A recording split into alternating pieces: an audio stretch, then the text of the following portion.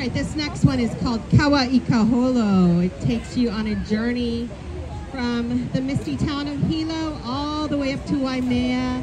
These ladies have to travel by truck, by train, by horse, and uh, they finally make it to their gathering.